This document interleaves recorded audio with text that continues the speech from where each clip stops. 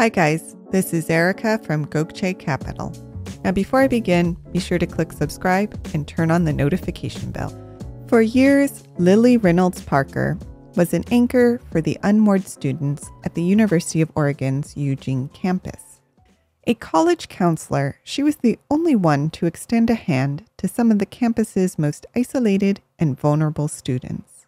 And now, a handful of her former students want to pay her back. How did they fulfill one of Lily's lifelong dreams? We'll find out at the end of this video. But first, if you plan to buy real estate with a mortgage, it's not enough that you show sufficient funds for your down payment. Those funds must also be seasoned. And in today's video, we have the top things you should know about loan seasoning. Number one, what is a seasoning period? Before they'll approve a loan, mortgage lenders often have seasoning requirements. For example, these requirements may include seasoned funds, which are dollars that have remained in your bank account and have been accessible to you for a certain period of time. On the other hand, they may require a minimum seasoning period before you can buy another home. This seasoning period typically follows a bankruptcy, foreclosure, or short sale, so there are several forms of seasoning, but in today's video, we're going to focus on a seasoning period in the context of a down payment. Number two, why is there a seasoning period? There are three primary reasons why lenders require seasoning. The first is to ensure that borrowers don't secretly borrow payment funds that have to be paid back, as this will impact debt ratios.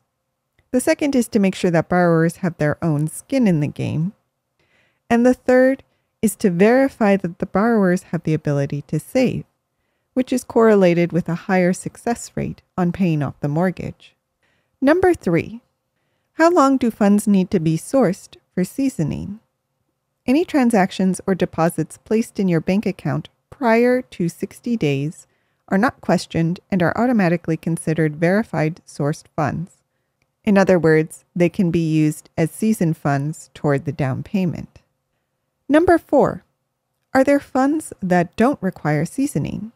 Yes, there are funds which, if they can be verified beyond a reasonable doubt, won't require seasoning by a lender.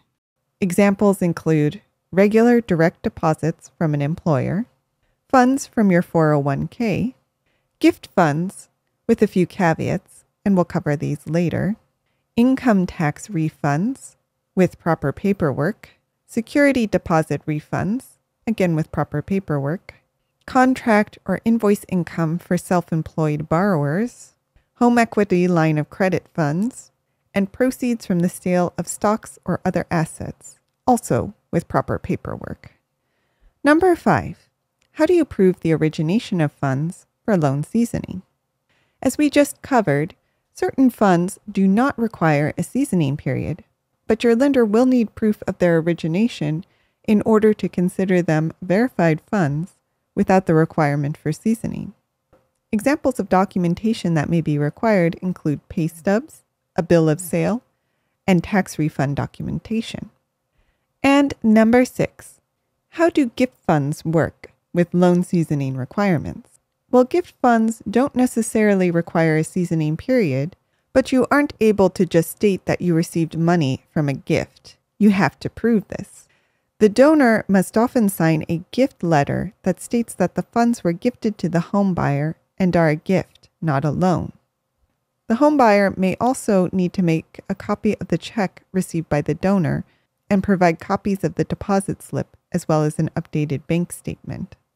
In turn, the donor will need to provide 30 days of bank statements showing that the gift funds have been seasoned in their account for at least 30 days. And the donor will need to show the gifted funds being withdrawn from their account and deposited into the homebuyer's bank account. But speaking of gifts, let's return to the story of Lily and her former students. Lily knew what it felt like to be on the margins of society, which is perhaps why she was a tireless advocate for the most vulnerable students at the University of Oregon in Eugene. When Lily was born in 1946, Eugene was the Oregon seat of the Ku Klux Klan. Her family was not allowed to live within the city limits, So her parents settled in a house on the western outskirts of town, in an area without running water or indoor bathrooms. When Lily graduated from high school in 1964, she wanted to become a lawyer, but was told college was not possible.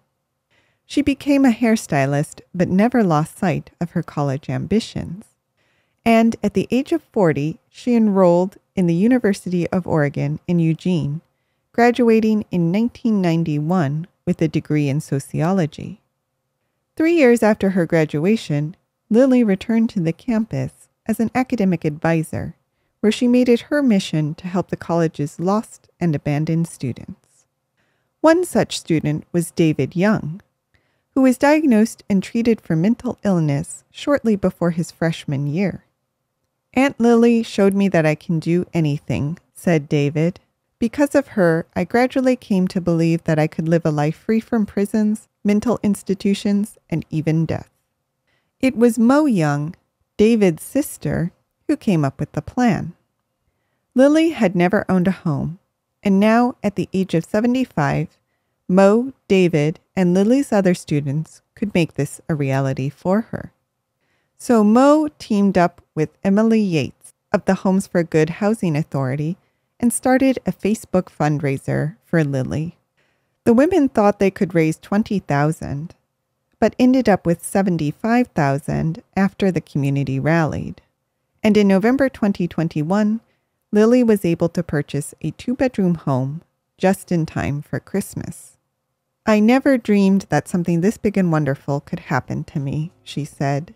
My parents taught me how important it is to make a difference, and it's nice to know that so many think I did. But what do you think? Is there someone in your life that you can celebrate in this way? Let us know in the comments. And if you do make that gift, be sure to account for the proper seasoning period. Did you like this video? You're going to love our Gokce Land Due Diligence program. We'll make you a land due diligence expert in just seven days. Check it out at gokcecapital.com slash glad. And while you're at our website, don't forget to explore our $1 down listings at gokcecapital.com slash listings. Finally, don't hesitate to reach out. You can email, call, or text, and we will respond as soon as possible. So thank you for listening, and more to come.